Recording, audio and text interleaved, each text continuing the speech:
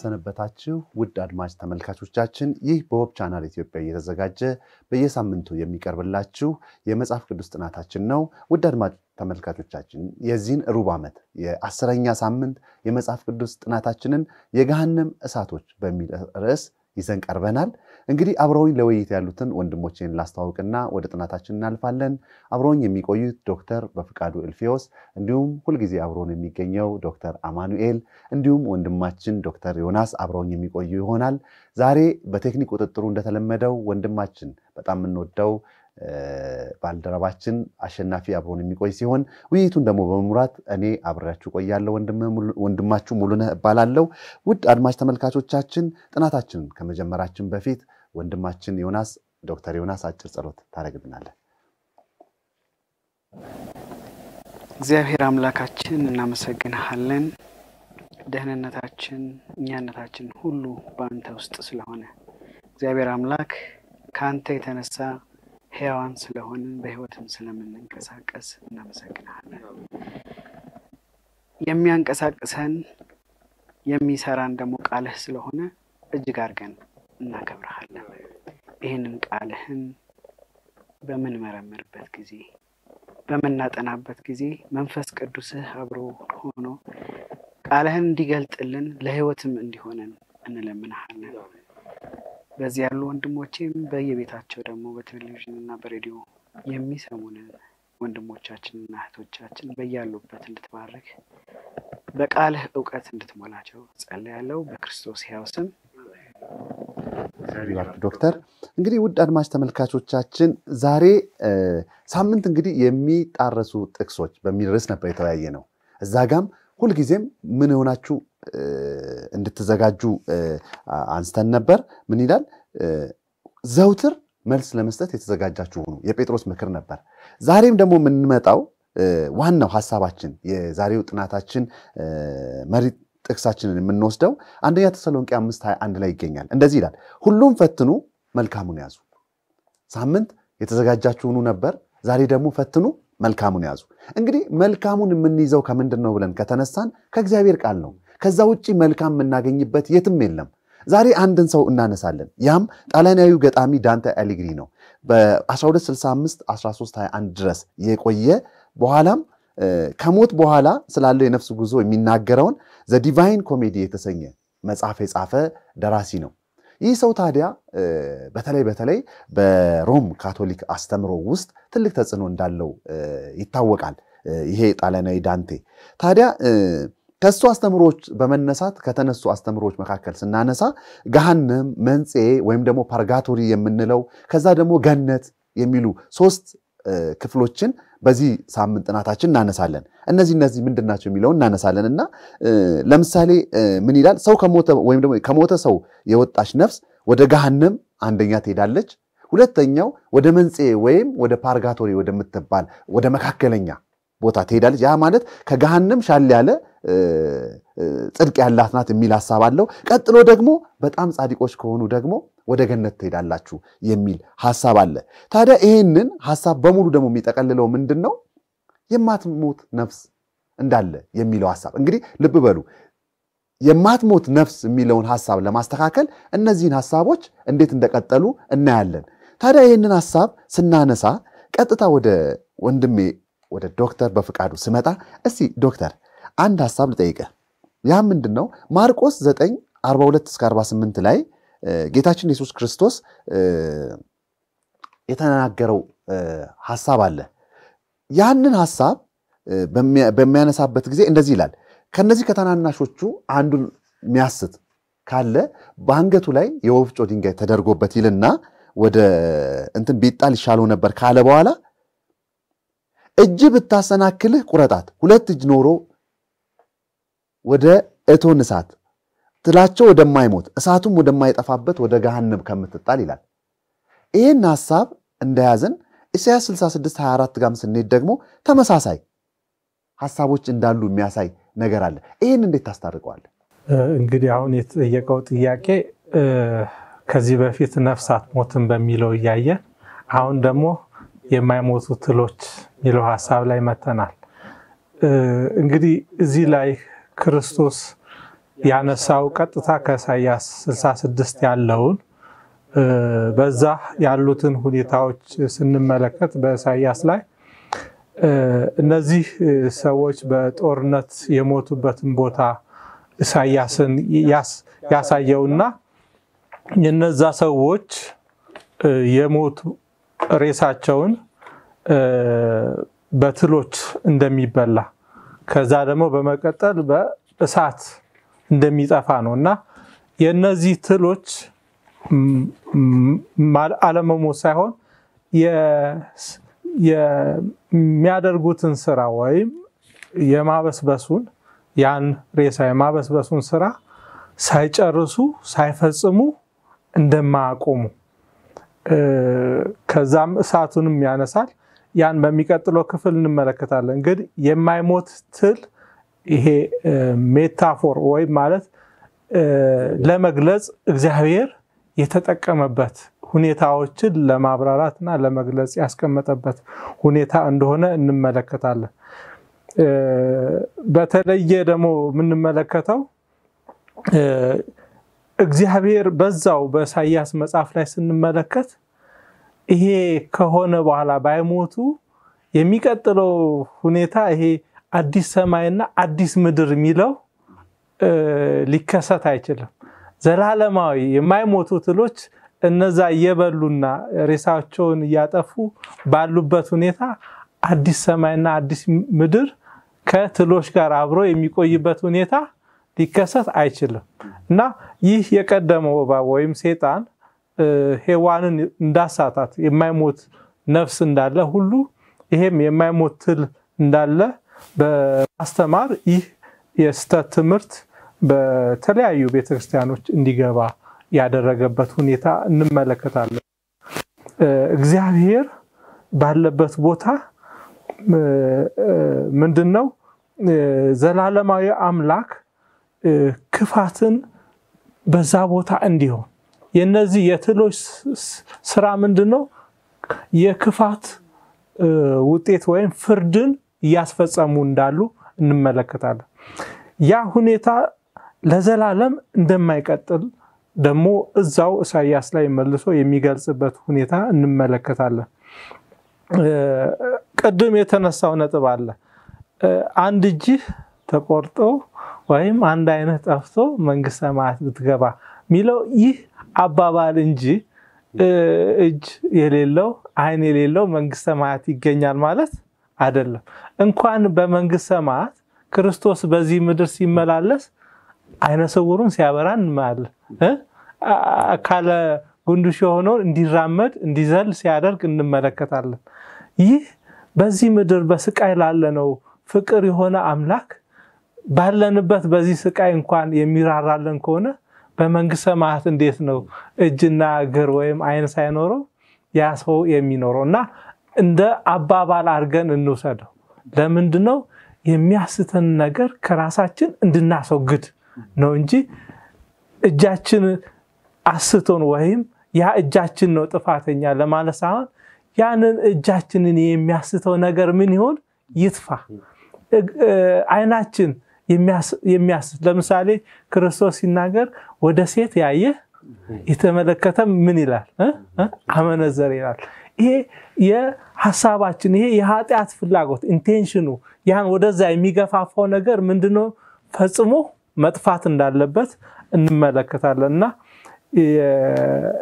ጻድቅ የሆነ ቅዱስ የሆነ ፍቅር የሆነ አምላክ ይህ ሁኔታ እንዲቀጥል በዘላለማዊ መልኩ እንዲሆን የሚፈርድ አይደለም እና ወደሚቀጥሉ ክፍሎች ስንመለከት የበለጠ ነጥቦቹን እያነሳንና እየተረዳን እንሄዳለን።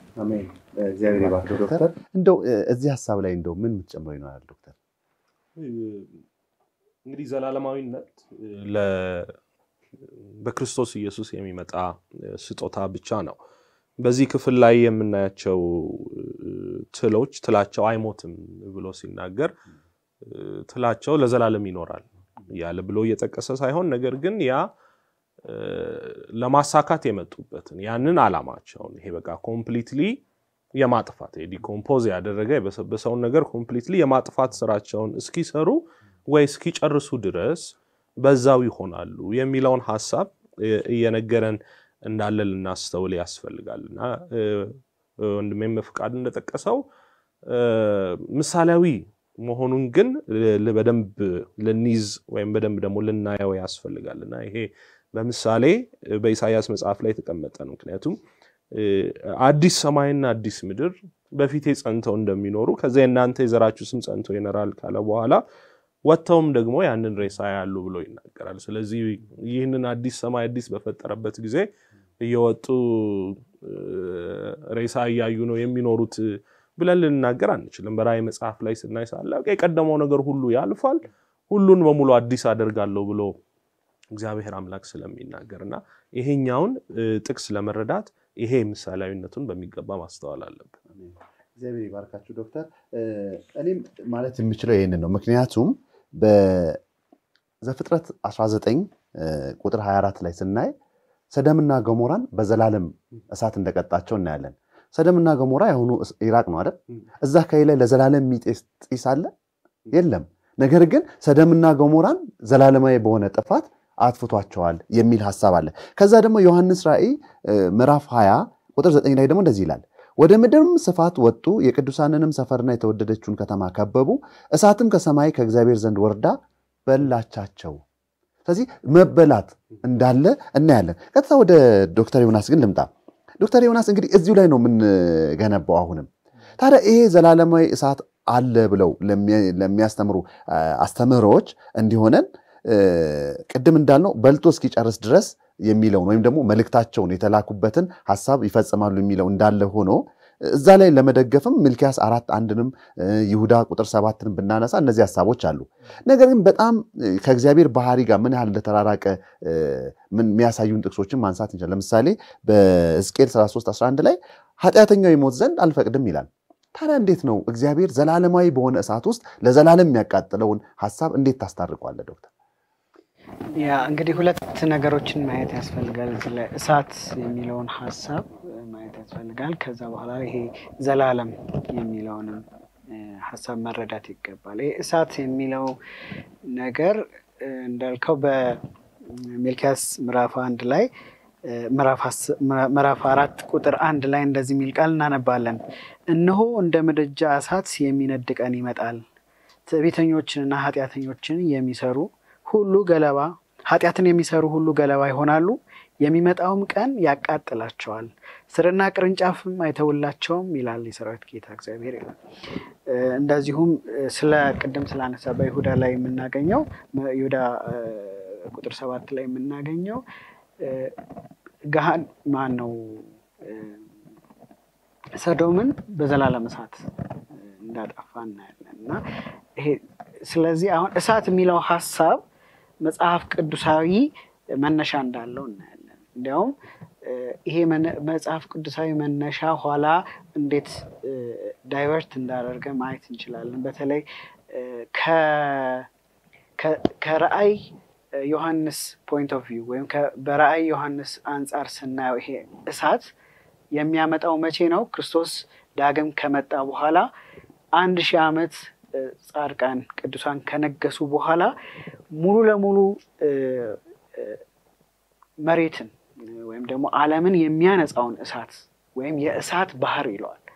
ያንን ከዛ የመነጨ እንደሆነ እናያለን እና አሁን እሱን ስንመለከት ይሄ እሳት የሚለው እና ደግሞ ለዘላለም የሚነድ እሳት ከሚለው ሀሳብ ጋር ስናገናኘው አሁንም እየነደደ ያለ የሆነ እሳት እንዳለ ሀሳብ የሚሰጥ ይመስላል።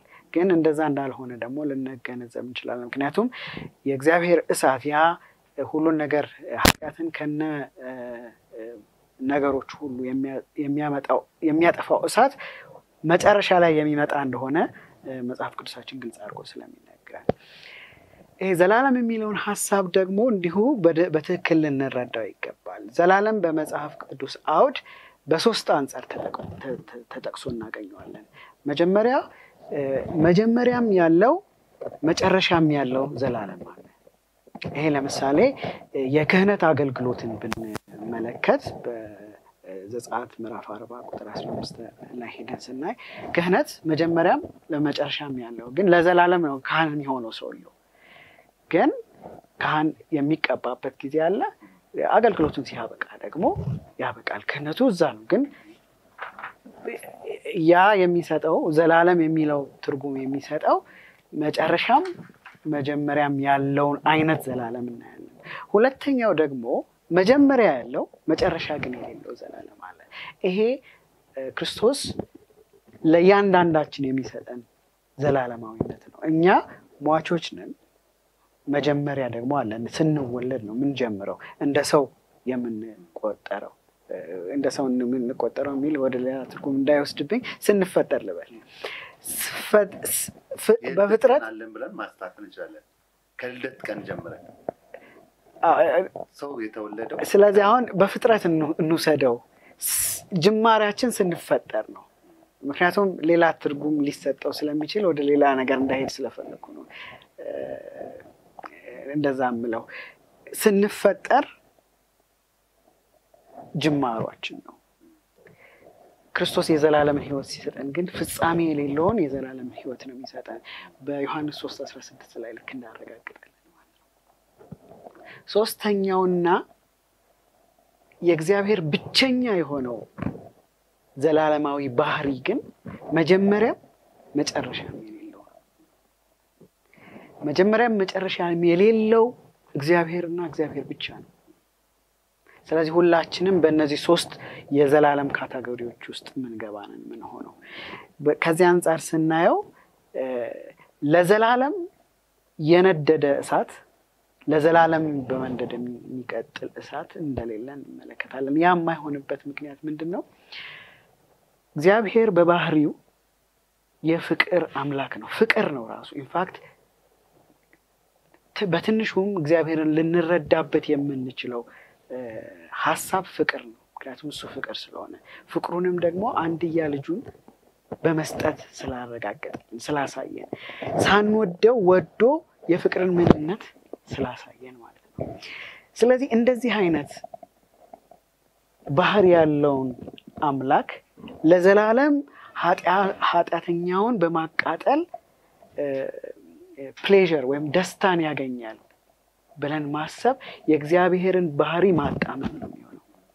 የእግዚአብሔርን ባህሪ ማጣመም የማን ስራ ነው? በመጀመሪያ ደረጃ የሰይጣን ስራ ነው። እግዚአብሔር ያልሆነውን መልክ መስጠት፣ እግዚአብሔር የሌለውን ባህሪ መስጠት የማን ስራ ነው? የሰይጣን ስራ ነው። ነፍስ አትሞትም ብሎ ለአዳም ለአዳምና ለሔዋን ወይም ለሔዋን ሲዋሽ ምንድን ነው ክሱ? የመጀመሪያው እግዚአብሔር ውሸቱን እኮ ነው እንደሱ እንዳትሆኑ ነው። ውሸት ከእግዚአብሔር ጋር የሚቀርብ ነገር አይደለም። በዛም ሊከሰስ የሚችል አይደለም። ስለዚህ እዚህ ላይም ይሄንን አስተምሮ የሞት የነፍስ አትሞትም አስተምሮ እንዲሁም ለዘላለም የመቃጠልን አስተምህሮ ሰይጣን ያመጣው የእግዚአብሔርን ማንነት ለማበላሸት ነው። እግዚአብሔር ግን እንደዛ አይደለም። እንዲያውም መጽሐፍ ቅዱሳችን ምንድን ነው የሚለው? ሰው የስራውን ውጤት ነው የሚቀበለው። ስለዚህ ከስራው ውጤት ውጪ እግዚአብሔር ሊሰጠው አይችልም። እግዚአብሔር የሚሰጠን የምንፈልገው የመረጥነውን ነው። ብንመርጥ የዘላለም ሕይወትን ይሰጠናል።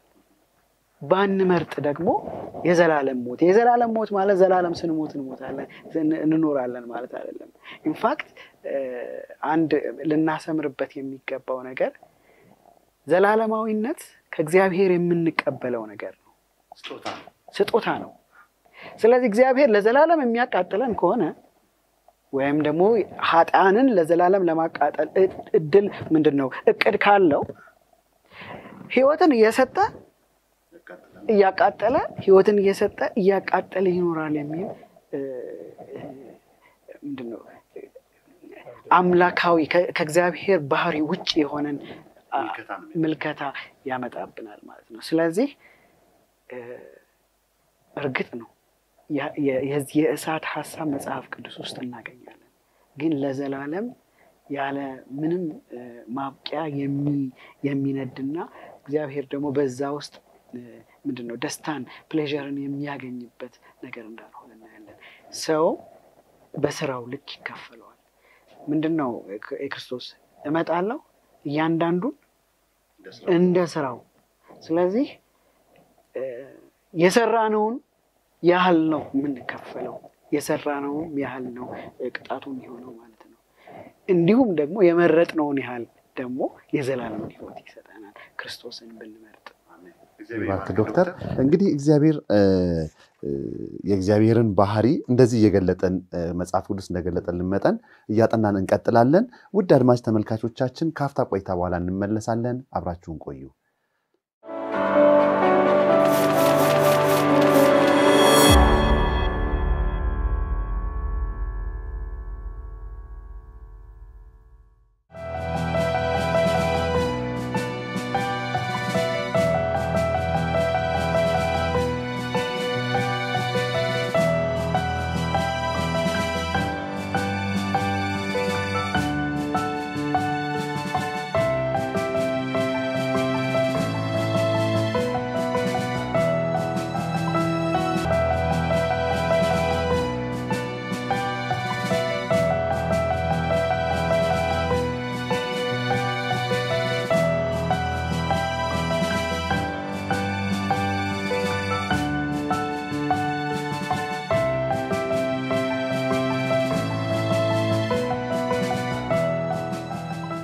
ቆይታ በኋላ ተመልሰናል። ውድ አድማጭ ተመልካቾቻችን ይህ በ Hope Channel ኢትዮጵያ በየሳምንቱ እየተዘጋጀ የሚቀርብላችሁ የመጽሐፍ ቅዱስ ጥናታችን ነው።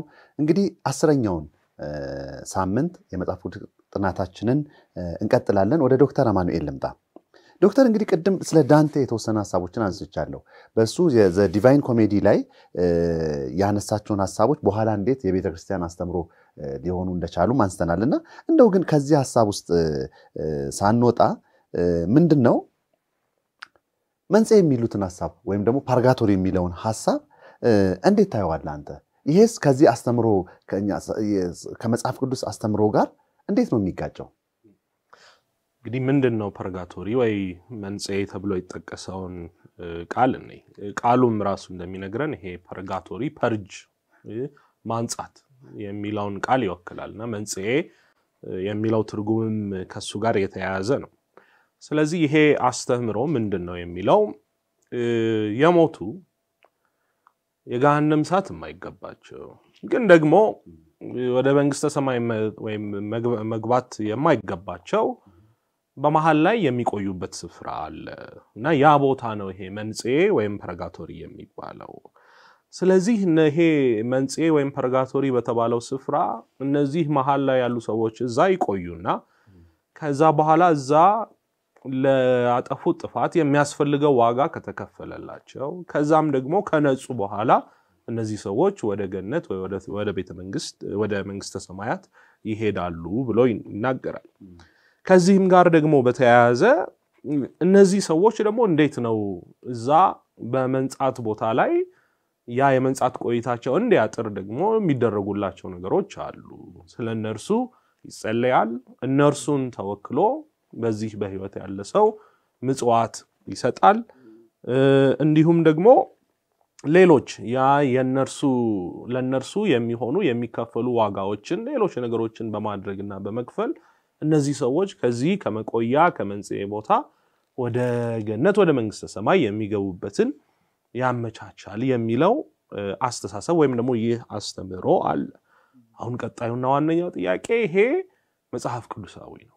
መጽሐፍ ቅዱስ አንደኛ እንደዚህ ቦታ ስለመኖሩ የሚያስተምረን ነገር አለ ወይ? ሁለተኛ ሰው ከሞተ በኋላ ይሄ ንቃተ ህሊና ያለው የሆነ ከእርሱ አካል የምትለይ ነገር በእንደዚህ አይነት ነገር ውስጥ ታልፋለች።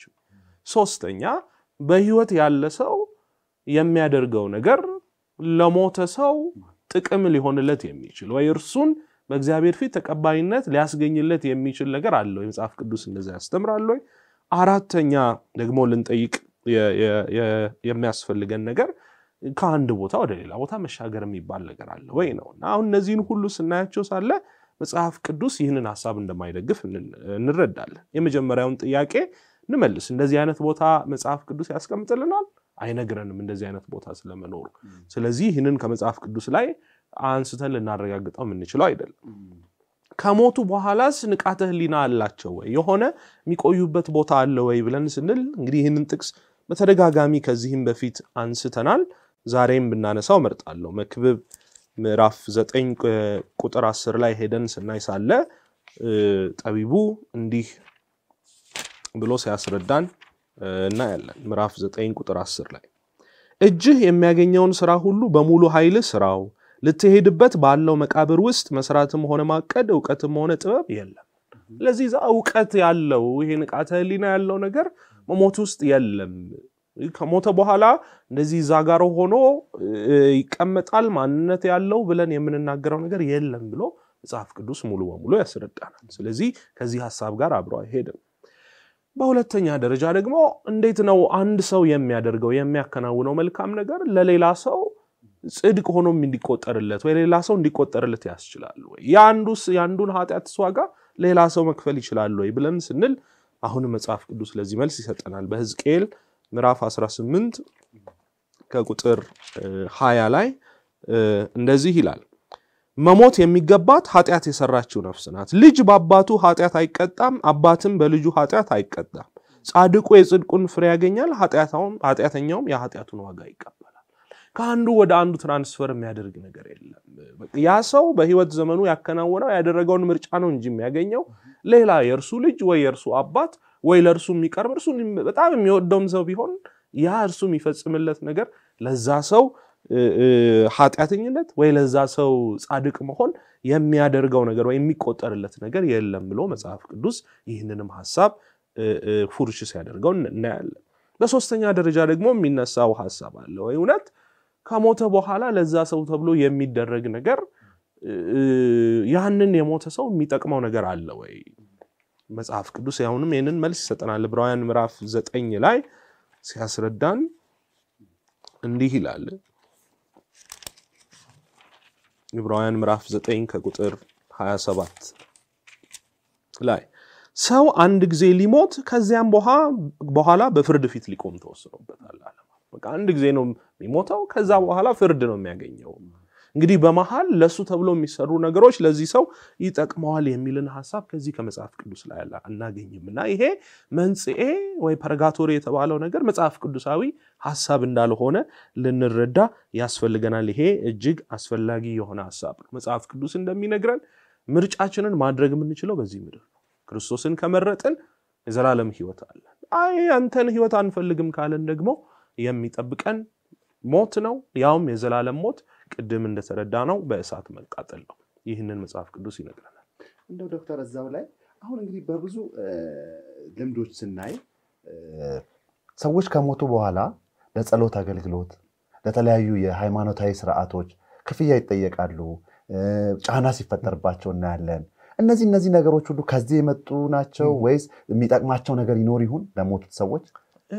እንግዲህ በቅንነት ሰው ይህንን ያደርጋል። በተቻለ መጠን እንግዲህ የሚወደውን የሚያጣውን ሰው ክፉ ነገር እንዳይደርስበት ወይ ወደ የተሻለ ነገር እንዲገጥመው በማለት እነዚህን ነገሮች በብዛት ሲያደርግ ሲያከናውን እናያለን። ግን እነዚህ ሁሉ ነገሮች መጽሐፍ ቅዱሳዊ መሰረት የላቸውም። ይህን ሁሉ እኮ ማድረግ አያስፈልግም። መጽሐፍ ቅዱስ መዳንን በነፃ አስቀምጧል እኮ በክርስቶስ ኢየሱስ የሚገኝ አድርጎ አንድ ሰው ሲናገር እንደዚህ ያለ እኔ ክርስቶስን ሳይና ሳስብ እግዚአብሔር ያደረገልኝን መጥፋት አይደለም የሚከብደው መዳን ሳይሆን መጥፋት ነው አለ። እግዚአብሔር እኮ በነፃ ያስቀምጠውን ያንን በነፃ ምርጫ ማከናወን የምንችለውን ነገር በሌሎች ነገሮች ገዝተን ልናደርገው የምንችለው አይደለም። ቅድምም እንደጠቀስነው ዋናው እና ወሳኙ ነገር በዚህ ምድር ላይ እያለን ምርጫችንን እንድናስተካክል ያንን ካላስተካከልን እኔ ካለፍኩ በኋላ ባለቤቴ፣ የሚወዱኝ የሚቀርቡኝ ሰዎች የፈለገውን ነገር ቢያደርጉልኝ ያለኔ የሚጠቅም ነገር አይሆንም። ለሟቹ ምንም ውለታ አይሆንም። ምንም ምንም የሚጠቅመው ነገር ይህ ትልቅ ወሳኝ ሀሳብ ነው። ይህንን እውነት በሚገባ ማስተዋል አለብን። እግዚአብሔር ይርዳል። ምክንያቱም ቅድም እንዳልነው የተዘጋጃችሁ ሁኑ፣ መንፈስን ሁሉ ፈትኑ፣ መልካምንም ያዙ የሚለውን ሀሳብ እንቀጥላለን። ምክንያቱም አሁን ፓርጋቶሪ ወይም ደግሞ መንጽኤ የሚለው ራሱ እግዚአብሔርን ጨካኝ፣ ተበቃይ፣ ግትር፣ ይቅርታ የሌለው ግን በተቃራኒው ደግሞ ሙታን የክርስቶስን ዳግም ምጻት እየጠበቁ በእንቅልፍ ናቸው ከሚለው ሀሳብ በተቃራኒ መንጽኤ ውስጥ እንዳሉ ይናገራል። ከዛም ደግሞ ይባስ ብሎ ደግሞ አሁን እንዳልከው የተለያዩ ውለታዎችን በመዋል ወደ ተሻለው ወደ ገነት ማምጣት ይቻላል የሚል አቅም ለሌላቸው ራሱ ትልቅ ተጽዕኖ የሚፈጥር ሰዎችም ገና ሟቹ ሳይሆን ገና በሕይወት ያለው ራሱ እንዲሰቃይ መንገድ የሚፈጥር ሆኖ እናየዋለን። እንግዲህ ወደሚቀጥለው ሀሳብ ልቀጥል። እንግዲህ ሀሳባችንን ስንቀጥል እዚሁ ላይ ከዚህ ከመንጽሔ ደግሞ ያልተናነሰ ሌላ አስተምሮ አለ። አንዳንድ አስተምሮዎች መንጽሔውን አይቀበሉም። ይሄ ገሃነም መንጽሔ ገነት የሚለውን ይተውና ይላሉ? ገሃነም ወይም ገነት ነው ያለው ይላሉ። ገነትን ደግሞ በምናነሳበት ሰዓት ምን ይላሉ? አይ ሰው ሲሞት አካል አልባ ይሆንና ወደ ገነት ይሄዳል፣ ወደ እግዚአብሔር ዘንድ ይሄዳል ይላሉ። ይሄ ከመጽሐፍ ቅዱስ አንጻር እንዴት ዶክተር ፍቅዱ? እንግዲህ የቅድም የተነሳ ሀሳብ የማይቀበሉት ወደዚኛው በዚኛው በስህተት ትምህርት ሲመሩ እናያለን። አካል የሌላት ነፍስ በመንግስተ ሰማያት ወይም በገነት ይህን ሀሳብ ስንመለከት ከዚህ የሚጻረር ሀሳቦች በተለይ በመጽሐፍ ቅዱስ የምናያቸውን ክፍሎች እንመለከት። ከዛ በኋላ ራሳችን እውነቱን እንድንይዝ ይረዳናል። በመግቢያው ጥቅስ ላይ እንደተመለከት ነው ሁሉንም ፈትኑ እዩ፣ እውነቱንም ያዙ ነው። የሐዋርያት ስራ ምዕራፍ ሁለት ከቁጥር 29 ላይ እንመልከት። ወንድሞች ሆይ ስለ አባቶች አለቃ ስለ ዳዊት እንደሞተም እንደተቀበረም ለእናንተ በግልጥ እናገር ዘንድ ፍቀዱልኝ፣ መቃብሩም እስከ ዛሬ በእኛ ዘንድ ነው ይላል። እንግዲህ ዳዊት ከሞተ ከተቀበረም እዚሁ እንዳለ ምስክርነቱን ያሳይ። እንደውም ይበልጣ በማጠናከር ቁጥር 34 እና 35 ስንመለከት ዳዊት ወደ ሰማያት አልወጣምና ነገር ግን እሱ ጌታ ጌታዬ ጠላቶችን የእግር መረገጫ እስካደርግልህ ድረስ በቀኜ ተቀመጥ አለው አለ። ይህ እንግዲህ በዚህ ላይ የሚያሳየው ምንድን ነው? ይህ ጌታ ጌታ ያለው ክርስቶስን እንደሚወክል ዳዊት እስካሁን በዚህ ቦታ እንዳለ ሐዋርያት ለአይሁዶች ሲሰብኩ እናያለን። የክርስቶስን መነሳት ብስራት ሲናገሩ እናያለን። እንደውም ይህንን ጳውሎስ ሲገልጸው በተለይ አንደኛ ቆሮንቶስ 15 ከ16 እስከ 18 ሄደን ስንመለከት ምን ይላል? ሙታን የማይነሱ ከሆነ ክርስቶስ አልተነሳማ። ክርስቶስ ካልተነሳ እምነታችን ከንቱ ናት፣ እስካሁን ድረስ በኃጢአታችሁ አላችሁ። እንግዲያስ በክርስቶስ ያንቀላፉት ደግሞ ጠፍተዋል። እንግዲህ አካል የሌላቸው ነፍሳት ወደ ሰማይ ይሄዳሉ የሚለው የውሸት ትምህርት መሆኑን ቅድም ከሐዋርያት መጽሐፍ እንዲሁም ከአንደኛ ቆሮንቶስ አይተናል። አንደኛ ወደ ዮሐንስ ራእይ ሄደን በተለይ የመጨረሻውን ዘመን ፍጻሜ ላይ የሚከሰተውን የፍርድ ሂደት በተመለከተ ላንሳ። በዚህ በምዕራፍ 20 ከቁጥር 12 እስከ 14 ስንመለከት መጽሐፎች እንደተከፈቱ እናያለን እና ምንድን ነው የሚለው በመጽሐፉ መሰረት ሙታን ከባህር ከሲኦል እንደወጡና እንደየስራቸው መጠን እንደተከፈለ። ከዛ በኋላ ሙታን ሲኦልም በእሳት ባህር ውስጥ እንደተጣሉ እንደማይቀጥሉ እንደሚጠፉ። በሕይወት መጽሐፍ ያሉት ደግሞ የተጻፉት ተጽፎ ያልተገኙት ሁሉ በእሳት ባህር ውስጥ እንደሚጣሉ ያ ቅድም ያየነው የእሳት ባህር ሁሉንም ነገር የሚያጠፋ እንደሆነ እንመለከታለን። እነዚህ ሙታን ነፍሳቸው ብቻ ተለይቶ የሚሄዱበት ሁኔታ እንደሌለ ይህ የራእይ መጽሐፍ የመጠቅለያውን ሀሳብ እንመለከታለን። እስቲ ወደ መጽሐፍ ቅዱስ ትምህርቶች ስለ ሰብአዊነት ተፈጥሮ ምን ይነግረናል? እስቲ ከዘፍጥረት አምስት ሀያ አራትን ስንመለከት ስለ ሄኖክ ያወራል። ሄኖክ ከእግዚአብሔር ጋር አካሄዱ ምን አደረገ? ከዛ ምን አደረገው? እግዚአብሔር ወሰደው። ስጋውን እዚህ ጥሎ ነፍሱን አይደለም እግዚአብሔር የወሰደው እንዳለ ከና አካሉ ጭምር ነው እና ይህ ከዚኛው ከአነሳነው ትምህርት ይጻረራል። ሌላው ደግሞ ስለ ኤልያስ ስለ ኤልያስ ስናወራ ምንድን ነው የሚለው?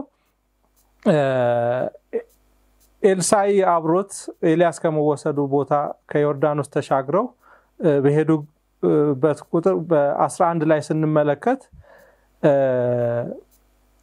የእሳት ሰረገላ እንደመጡና እነዚህም ከኤልሳዕ ኤልያስን ለይቶ ወደ ሰማይ ይዞት እንደሄደ እናያለን። ይሄ የእሳት ሰረገላ ወይም መንኮራኩር ይለዋል እና ወደ ሰማይ እንደተነጠቀ እንመለከታለን።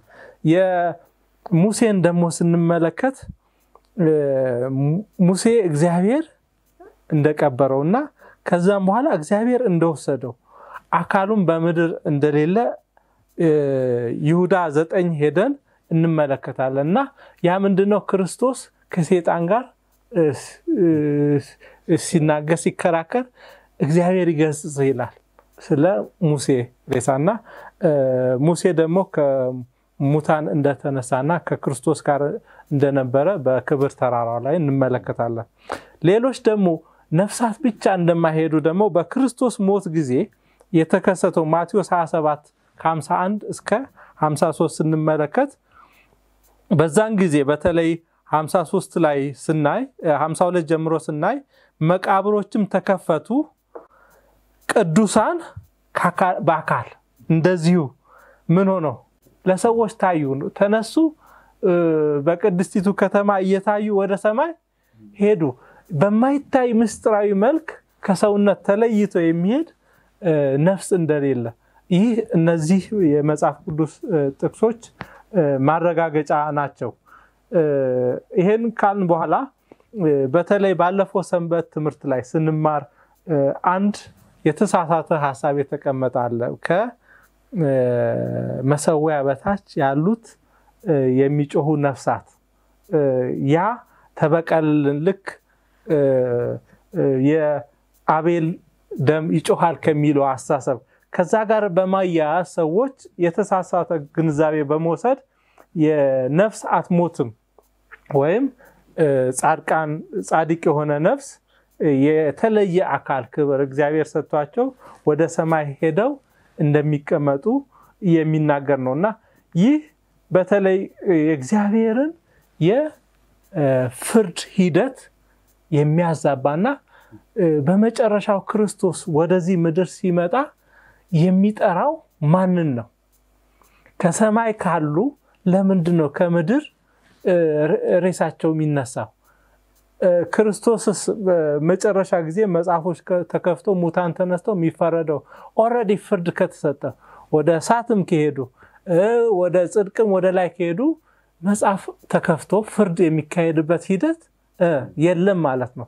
ይህም ሴጣን አውቆ በዚህ በመጨረሻው ዘመን የፍርድ ቀን መድረሱን የዚህን የታላቁን የእግዚአብሔርን መልእክት ሰዎች እንዳይቀበሉ ወደ ድነት እንዳይመጡ እውነታውን እንዳያውቁ በተለይ እነዚህ የወደቁ አብያተ ክርስቲያናት ከእውነቱ የሸሹ አብያተ ክርስቲያናት ይህንን ትምህርት እንደሚያስተምሩ እንመለከታለን። እና በትክክለኛው መንገድ ክርስቶስ ያንቀላፉት ከመሬት እንደሚነሱ። ህያዋንም ደግሞ አብረው በክርስቶስ ምጻት አብረው እንደሚነሱ ይህን ቁልፍ የሆነውን ትምህርት ወይም ትልቁን የእግዚአብሔር ወይም የክርስቶስ ምጻት ተስፋ የማውደም ታላቁን ተስፋ የመናድ የመሻ እግዚአብሔር ለክርስቶስ ሲነሳ ሲሄድ ሲያደርግ ለደቀ መዛሙርት የሰጠውን ተስፋ እሄዳለሁ ተመልሼ እመጣለሁ የሚለውን ሁኔታ ሁሉ የሚያጠለሽ ሁኔታ እንመለከታለን እና ቶታሊ እግዚአብሔርን እውነት ምን ያደርገዋል? ይፍቀዋል፣ ያበላሸዋል። እግዚአብሔር ይባርክ። ዶክተር በፍቃዱ እናመሰግናለን። ወደ መጨረሻ ሀሳብ ልምጣ። ዶክተር ዮናስ ጋር እንግዲህ አብዛኛውን ነገር ነካክተነዋል። ወደ ዶክተር ዮናስ ስመጣ ምንድን ነው ከአንተ የምፈልገው መጽሐፍ ቅዱሳዊ እይታውን እንግዲህ አሁን በነካነው እይታ ስንጠቀልለው ሰው የዘላለም ሕይወትን የሚያገኘው በክርስቶስ ብቻ ነው ይላል በአንደኛ ዮሐንስ አምስት ከሶስት ከአስራ ሁለት ላይ ምክንያቱም ከክርስቶስ ካልሆነ የዘላለማዊ ሕይወት የለም የሚለውን ሀሳብ አሁን ዶክተር በፍቃዱም እንዳነሳው እንዴት ተጠቀልለዋል? እንግዲህ በመሰረቱ እስካሁን ስናየው የነበረው ነገር ምንድን ነው? ይሄ በየትኛውም አቅጣጫ ወደ ገነት የገባውም ነፍስ የሚባል ነገር ወደ ገነት የሚገባ ከሆነም ወይም ደግሞ ወደ ገሃነም ሄዶ የሚቃጠልም ከሆነ በሁለቱም ሀሳብ ነፍስ የሚባለው ነገር ለዘላለም የሚኖር ካራክተር ያለው ነገር እንደሆነ ያሳያል። ስለዚህ ይሄ አንድ ትኩረት ልንሰጠው የሚገባው ነጥብ ነው። ይሄ ነፍስ አትሞትም የሚለው የሴጣን የመጀመሪያ ውሸት ብዙዎችን እንዲያውም ጥሩ የመጽሐፍ ቅዱስ መረዳት አለን የሚሉትንም ጭምር ይዞ የወደቀ አስተሳሰብ ነው። ለምንድን ነው? በራሳችን ዘላለማዊነትን ተጎናጽፈናል የሚለውን ሀሳብ ስለሚደግፍ ማለት ነው። ነገር ግን መጽሐፍ ቅዱስ ምንድን ነው የሚለው በትክክል በግልጽ የሚለው ምንድን ነው? ጳውሎስ በአንድ ሰው ምክንያት ኃጢአት ወደ ዓለም ገባ ይላል። በኃጢአትም ምክንያት ሞት፣ ይህም ሞት ዘላለማዊ ሞት ነው። መጽሐፍ እንደሚል ኃጢአት የሰራች ነፍስ እሷ ትሞታለች። ይሄ ከዚህ አትብላ፣ በበላህ ቀን ግን ምን ትሆናለህ? ሞትን ትሞታለህ። ይሄ ቀልድ አይደለም፣ ወይም ደግሞ ማስፈራሪያም አይደለም፣ ፋክት ነው፣ እውነት ነው። ስለዚህ ይህንን መሻር አይቻልም። ምክንያቱም የእግዚአብሔር ቃል የእግዚአብሔር አፍ ተናግሮ ጳውሎስ ልክ ይህንኑ ምሳሌ አድርጎ ምን ይላል? በአንድ ሰው ጽድቅ ምክንያት ደግሞ ወደ ዓለም ምን መጣ ይላል? ሕይወት መጣ። ይሄም ደግሞ ፋክት ነው፣ እውነት ነው። ምክንያቱም ክርስቶስ ምን ብሏል? እኔ ሕይወትና ትንሣኤ ነኝ ብሏል። ስለዚህ ይሄ ለዘላለም የመኖራችን በክርስቶስ ምክንያት ለዘላለም የመኖራችን ነገር የተረጋገጠ ነው። በኤፌሶን ምዕራፍ አንድ ላይ እንደምናየው አስቀድሞ ነው የሚለው ነገራችንን ሁሉ ሰርቶ መርጦን ለምን ለይቶናል? ለህይወት ለይቶናል። እግዚአብሔር ሰውን እንፍጠር በመልካችን በምሳሌያችን እንደ ምሳሌያችን ሲል ለዘላለም እንዲኖር ነው። ለዘላለም የእሱ አምሳያ ሆኖ እንዲኖር ነው። የእሱ መገለጫ ሆኖ እንዲኖር ነው። የእሱ ፍቅር ማሳያ ሆኖ እንዲኖር ነው። ይህን ሲል ወስኖ ነው። የክርስቶስ መሞት ዓለም ሳይፈጠር የሆነ ክስተት ስለሆነ ይህንን ባለፉት ሰንበት ትምህርቶቻችን ላይ በደንብ ከበር አድርገነዋል፣ አይተነዋል። ክርስቶስ ስለኛ ዘላለማዊ ህይወት ሲል ራሱን አሳልፎ የገዛ ህይወቱን አሳልፎ ሰጥቶ ያንን እንድናገኝ መሰረቱን ሁሉ አስቀምጦልናል። ስለዚህ የዘላለም ህይወት በክርስቶስና በክርስቶስ ብቻ ነው። አንድ ጥቅስ ላንብብ። ይሄንን ክርስቶስ በጣም የወደው የነበረ ደቀ መዝሙር እንደዚህ ብሎ ነው የሚጠቅሰው በአንደኛ ዮሐንስ ምዕራፍ አምስት ቁጥር አስር ጀምሮ ያለውን ላንብብ እስከ አስራ ሁለት ድረስ በእግዚአብሔር ልጅ የሚያምን በነፍሱ ምን አለው ይላል ምስክር አለው በእግዚአብሔር የማያምን እግዚአብሔር ስለ ልጁ የመሰከረውን ምስክር ስላላመነ ሐሰተኛ አድርጎታል። እግዚአብሔር የዘላለምን ህይወት እንደሰጠን ይህ ህይወት በልጁ እንዳለ ምስክሩ ይህ ነው። እግዚአብሔር የዘላለም ህይወት ሰጥቷል። ያችን የዘላለም ህይወት ግን ያስቀመጠው በማን ነው? በልጁ ነው። ስለዚህ ልጁ ያለው ልጁ የሌለው ህይወት የለው እንዲያውም እንደው ለብዙ ክርክራችን መቋጫ የሚሆነው ይሄ ነው። ልጁ አለ፣ ህይወት አለው። ልጁ የለውም፣ ህይወት የለውም። ስለዚህ ኃጥኡ ለዘላለም ለመቃጠልም ሆነ የዘላለምን በነፍስ ለዘላለም መኖርን ከየት ሊያመጣው ይችላል? ህይወት እኮ እግዚአብሔር ነው። ያለ እግዚአብሔር መኖር አይቻልም። ያቺ ህይወት የዘላለም ህይወት ደግሞ እግዚአብሔር በማን አስቀምጣት? በክርስቶስ አስቀምጣት። ምክንያቱም እንድንበት ዘንድ የተሰጠን ብቸኛው መንገድ ህይወት፣ እውነት ክርስቶስ። ስለዚህ ትክክለኛው የመጽሐፍ ቅዱስ ዘላለማዊነትን የማግኛና ዘላለማዊነትን የማያ መነጽር ክርስቶስ ራሱ። አሜን።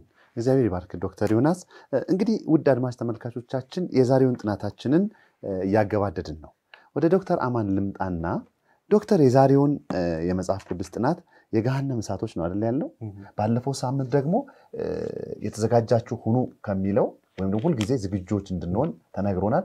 አሁን ደግሞ ፈትነን እንድንለይ ደጋግሜ የምነግረው ለምንድን ነው? ይህ ሁሉ ኃላፊነት የእኛ ነው። ሰዎች እንዲያዩልን፣ ሰዎች እንዲለዩልን አይደለም። እግዚአብሔር ዛሬም ለእኛ ይናገራል። ምክንያቱም መጽሐፍት ሁሉ በምን ተጻፉ ይላል? በእግዚአብሔር መንፈስ።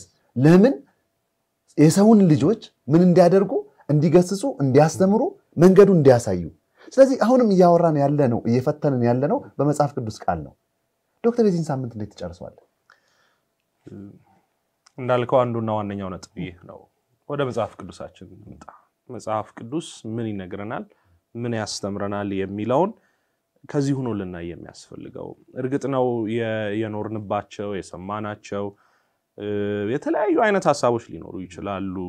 ነገር ግን ከመጽሐፍ ቅዱስ ከሚያስተምረው ነገር ጋር የተቃረኑ ከሆነ የእኛን ሀሳቦች የለመድናቸውን ሀሳቦች የሰማናቸውን ሀሳቦች ወደ ጎን አድርገን እውነተኛውን ይህንን የእግዚአብሔርን ቃል ልንከተል ያስፈልገናል።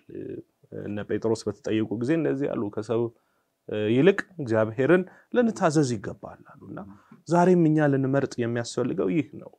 እነዚህ ሁሉ እኛ የምናውቃቸው አስተምሮዎች መጽሐፍ ቅዱሳዊ ናቸው ወይስ አይደሉም? መጽሐፍ ቅዱሳዊ ካልሆኑ እነሱን ገለል አድርገን መጽሐፍ ቅዱሳዊ የሆነውን ልናይ ያስፈልገናል። በሁለተኛ ደረጃ ይሄ በክርስቶስ የተገኘውን የዘላለም ሕይወት እውነት ደግመን ደግመን ብንናገረው የማንጠግባው ነው። እግዚአብሔር አምላክ ፍቅር ነው። እግዚአብሔር አምላክ ሀሳቡ፣ ዓላማው፣ እቅዱ ሁሉ እኛን ማዳን ነው። ሰማይ አለማስገባት አይደለም። አንዳንድ የሚሳለው እንዴት ነው? በቃ ማንም እንዳይገባ ፈልጎ ትልቅ ፈተና ትልቅ ነገሮችን ያስቀምጥና እንደምንም እሱን የዘለለ እንዲገባ አድርገን የሆነ ማንም እንዳይጠጋው የሚፈልግ አድርገን ስለ እናስቀምጣለን። መጽሐፍ ቅዱስ ግን እንደዛ አይለንም።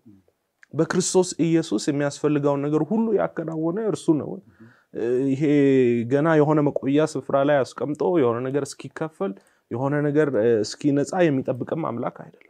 አሊያም ደግሞ በተደጋጋሚ እንዳነሳ ነው ሰዎች እየተቃጠሉ እየነደዱ እንዲቆዩም የሚፈቅድ የሚወድም አምላክ አይደለም። በልጁ በክርስቶስ ኢየሱስ ዓለምን ሁሉ ነው የወደደው። ማዳንም የሚፈልገው ዓለምን ሁሉ ነው።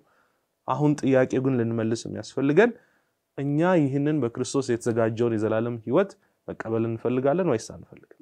አይን አልፈልግም፣ በቃ እኔ የምፈልገው መጥፋት ነው መሞት ነው የሚለውን አሳዛኙን ምርጫ እንዳንመርጥ በእውነት እግዚአብሔር ይርዳን።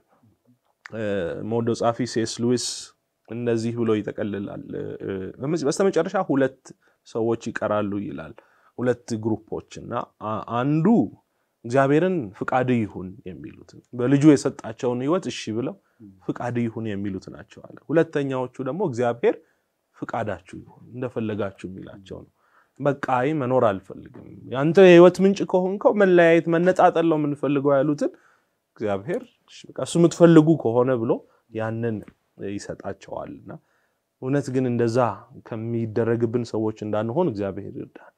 እርሱን ልጁን መምረጥ እንድንችል ጌታ ይርዳን። እግዚአብሔር ይባርክ። ዶክተር ውድ አድማጭ ተመልካቾቻችን በእውነት ዶክተር ያለው ላይ ባቆም ደስ አለኝ። ነገር ግን አንድ ሀሳብ መጨመር ፈለኩ። ዶክተር ምንድን ያም ብዙ ጊዜ ስለ ሙታን እናወራለን። በተለያየ የሃይማኖት ክፍሎች ውስጥ ያለን ይህን እድል ስናገኝ እናወራለን እና በጣም የሚገርም ሀሳብ ማየው ምንድን ነው አንደኛ ቅድም ያነሳው ሀሳብ የእግዚአብሔር ፈቃድ የሰው ልጆች ሁሉ የዘላለም ሕይወት እንዲኖራቸው ነው። ምክንያቱም ማንም እንዲሞት የማይወድ እግዚአብሔር ይላል አይደል? ይሄን ሀሳብ እንዳለ ይዘን አዎ ኃጢአተኛውን እንኳን እንዲሞት አይወድም ይላል እና ይሄኛው ሀሳብ እንዳለ ሆኖ ግን አሁን በሞት ፕሮግራም ወይም ደግሞ በቀብር ስነስርዓቶች ላይ አብዛኛውን አይታችሁ ከሆነ አብዛኛው ሰው የሚለው ምንድን ነው? ያ የሟቹ ቤተሰብ ደስ እንዲለው ይሁን አላውቅም፣ ወይም ሁሉም ሰው ወደ እግዚአብሔር ይሄድ እንደሆነ አላውቅም። ግን ምንድን ነው የሚለው? አቶ ሙሉነህ በጣም ጥሩ ሰው ነበር፣ ስለዚህም አሁን ነፍሱ በገነት ከእግዚአብሔር ጋር ናት። ምንን የሚያበረታታ ይመስላችኋል? እኔ ማን እንደሆንኩኝ እግዚአብሔር ብቻ ነው የሚያውቀው። ያ ፍርድ የእግዚአብሔር ነው። ግን ሰዎች ምን ብለ ለማጽናት ስለዚህ ያኛውም የተጎጂው ወገን ምን ይላል? አሜን፣ አዎ እግዚአብሔር ከእሱ ጋር ይሆናል፣ እግዚአብሔር ዘንድ ይሆናል ይላል። ነገር ግን በዚህኛው ሳይድ አይታችሁታል። አቶ ሙሉነህ ትክክል ስላልሆነ የዘላለም እሳት ውስጥ ይገባል ብለን ብንሰብክ ምን ይሆናል ተቃራኒው ብላችሁ ታስባላችሁ? እግዚአብሔርን እንዴት ምን ስለው ይመስላችኋል? ምክንያቱም ያኛው ያጽናናል፣ ችግር የለም እግዚአብሔር ዘንድ ነው፣ በሰላም ነው ያለው እንላለን።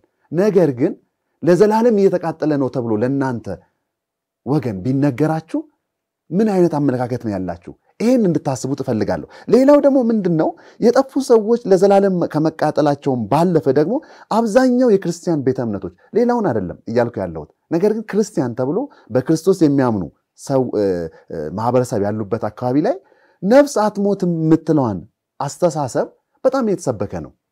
ይህን እንደና አሁን ያነሳ ነፍስ አትሞትም ነው ለዚህ ያደረሰው። ምክንያቱም ነፍስ ብትሞት ኖሮ ይሄን አስር ሳምንት ያጠናናቸው ጥናቶች የተለየ ገጽ በያዙ ግን ነፍስ አትሞትም የምትለዋን ዘፍጥረት ሶስት ላይ ሰይጣን ለሔዋን የነገራት ትምህርት ለስድስት ሺህ ዓመታት በእንደዚህ ሁኔታ ዓለምን አጥለቅልቋል። ነገር ግን አንድ ነገር እላለሁ። አሁን እንደ ቤተ ክርስቲያን ግን ምን መስራት አለብን? ይህንን የተሳሳተ ትምህርት እግዚአብሔር የሰጠው ትምህርት እንዳልሆነ ለማሳየት እኔ እናንተ እናንተ ውድ አድማጭ ተመልካቾቻችን ምን እናድርግ የሚለውን በየቤታችሁ እንድትወያዩ እጋብዛችኋለሁ። ምክንያቱም ሁሉንም ፈትኑ፣ መልካሙን ያዙ።